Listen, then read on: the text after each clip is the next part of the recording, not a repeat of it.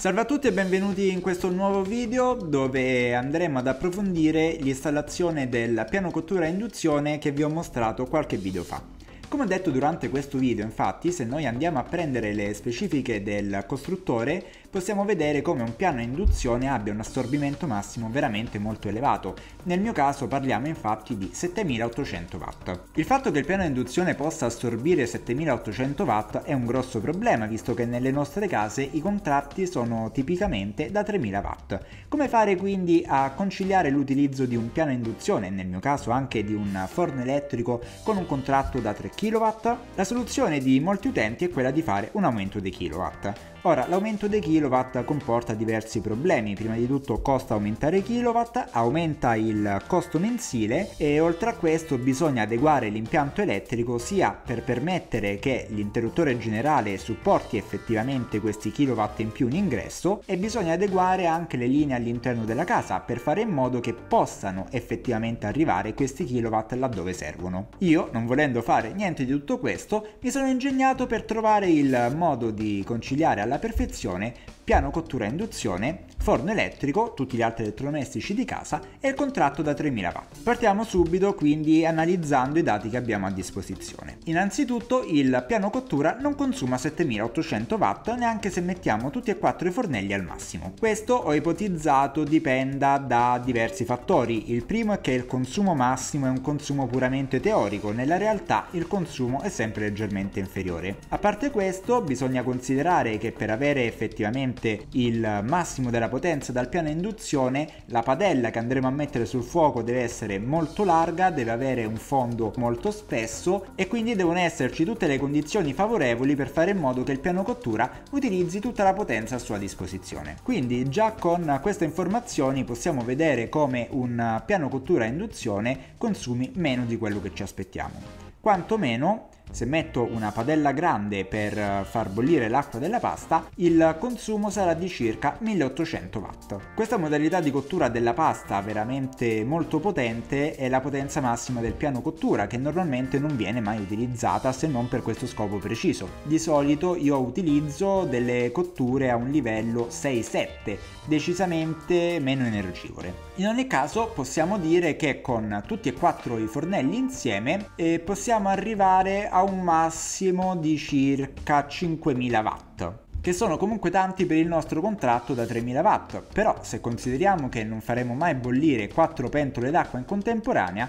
possiamo dire che il consumo massimo del nostro piano cottura si aggira più realisticamente su 4000 watt o poco meno. Ora, se 4000 watt ci sembrano più ragionevoli, dobbiamo tenere in considerazione che dentro casa sono presenti anche altri elettrodomestici, lavatrici, lavastovigli, phon, nel mio caso il forno elettrico. L'unico modo per non far saltare la corrente quindi è fare attenzione e utilizzare soltanto i dispositivi al limite con la corrente che abbiamo a disposizione. Come ho detto inizialmente, i contratti base sono da 3000 watt. In realtà però noi possiamo utilizzare più di 3000 watt, infatti il, ci viene concesso il 10% in più di corrente prelevabile. Il nostro contratto da 3000 watt prevede 3300 watt disponibili. Inoltre ci viene concesso per un periodo massimo di 180 minuti, vale a dire 3 ore, che io giudico tranquillamente a tempo indeterminato visto che non starò mai 3 ore con degli assorbimenti così alti sull'impianto elettrico, un quantitativo di corrente che può arrivare circa fino a 3900 watt.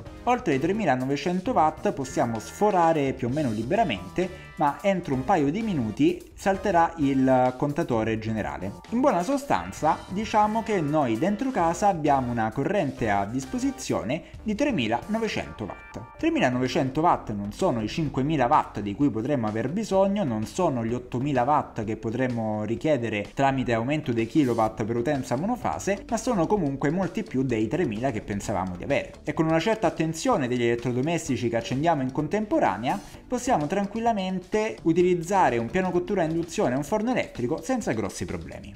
Ora sicuramente starete pensando, sì Giulio hai ragione, se mi facessi tutti i conti effettivamente potrei utilizzare piano cottura e forno elettrico, ma Intanto come faccio a sapere quanta corrente ancora ho a disposizione dentro casa, ma soprattutto se non voglio per un qualsiasi motivo preoccuparmi in maniera così meticolosa del consumo di corrente, come posso avere un piano cottura a induzione, un forno elettrico senza fare questo benedetto aumento dei kilowatt? La soluzione si chiama gestore di carichi. Il gestore di carichi è un dispositivo che come vedete ha diverse funzioni. La prima è mostrarvi quanti kilowatt state consumando in un preciso momento, oltre ovviamente ai volt e agli ampere. E questo è un primo grandissimo aiuto. Se infatti state cucinando qualcosa potete vedere quanti kilowatt state utilizzando, sapere che avete a disposizione fino a 3900 watt e quindi regolarvi con gli altri elettrodomestici, oppure vedere subito se state sforando e quindi prendere provvedimenti e staccare ciò che sta consumando troppo prima che la corrente vada giù. Come ho detto però,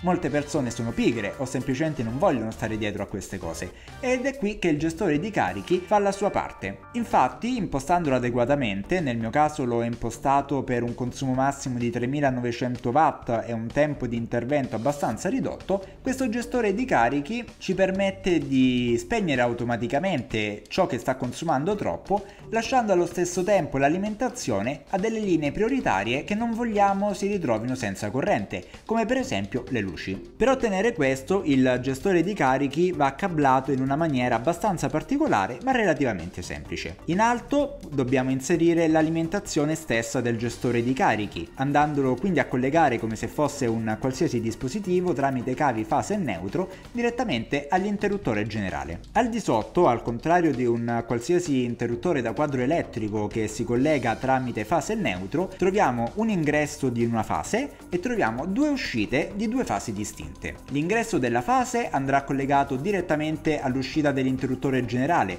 quindi attraverso questo gestore di carichi passerà effettivamente tutta la corrente di casa. Alle due uscite invece dovremmo collegare la linea che vogliamo venga spenta in caso di superamento della potenza disponibile, andando a collegare quindi l'uscita LN fase non prioritaria all'ingresso della fase dell'interruttore della linea che vogliamo venga spenta durante il superamento della potenza disponibile e dovremo andare a collegare l'uscita LP, vale a dire fase prioritaria prioritaria, quella che non viene spenta mentre c'è un superamento della potenza disponibile, all'ingresso dell'interruttore. Ora so che sembra un gran casino, ma qualsiasi elettricista competente, aiutandosi anche con, eh, il, con lo schema di cablaggio che viene inserito nel manuale presente in confezione, è in grado di installarvi questo comodo e utile dispositivo che potete utilizzare sia per verificare il consumo immediato dentro casa, sia per fare in modo che venga staccata la corrente nel caso di superamento del limite o anche solo per avere un promemoria acustico nel momento in cui l'assorbimento dovesse essere troppo elevato. A un costo non del tutto regalato di meno di 70 euro risulta comunque essere più economico rispetto a un aumento di potenza dal vostro gestore di energia elettrica. Certo, non vi permette effettivamente di utilizzare molti kilowatt in più rispetto a quelli disponibili, anche se come vi ho mostrato potete arrivare felicemente a 3900 watt, ma ciò nonostante con un'attenta pianificazione e soprattutto soprattutto con una gestione degli elettrodomestici ben divisa durante le ore del giorno, vi permette di avere, come nel mio caso, lavatrice, asciugatrice, lavastoviglie, climatizzatori, piano cottura a induzione e forno elettrico, oltre ovviamente al classico forno a microonde, computer, televisione e tutti gli altri dispositivi, senza per questo dover rinunciare a nessuno. Ovviamente la limitazione di questo dispositivo è che non avremo effettivamente a disposizione più kilowatt, semplicemente potremo gestire al meglio i 3900 watt che abbiamo a disposizione con un contratto normale. Per alcuni questa può essere comunque una limitazione, per esempio non potrete utilizzare il forno mentre sta andando un phon, per esempio, visto che andremo a sforare di molto la potenza disponibile, però con un po' di pianificazione e un po' di attenzione ci permette effettivamente di avere molti elettrodomestici dentro casa, nel mio caso asciugatrice, lavatrice, lavastoviglie, climatizzatori, forno elettrico, piano a induzione, forno a microonde, televisori e computer, senza per questo dover fare adeguamenti all'impianto elettrico, richiedere costosi aumenti di potenza o qualsiasi altra cosa. Per me infatti il vero vantaggio di questo dispositivo non è tanto la potenza in più prelevabile, ma il fatto di non dover ogni volta scendere fino al piano terra, uscire fisicamente dal palazzo in cerca del contatore per andarlo a riattivare ogni volta che per distrazione faccio saltare la corrente. Ha un costo quindi relativamente contenuto e con un'installazione che un elettricista professionista può eseguire in maniera abbastanza semplice, ecco come ho risolto il problema di una casa completamente elettrica senza per questo dover richiedere un contratto più potente dei classici 3000 watt. Se questa soluzione ti è piaciuta lasciami un mi piace, se anche te eri in cerca di un sistema per poter utilizzare molti elettrodomestici dentro la tua abitazione e ti sono effettivamente stato d'aiuto con questa spiegazione lasciami pure un commento e dimmi cosa ne pensi, ma soprattutto non dimenticarti di iscriverti al mio canale per restare sempre aggiornato sui prossimi video. Ciao a tutti!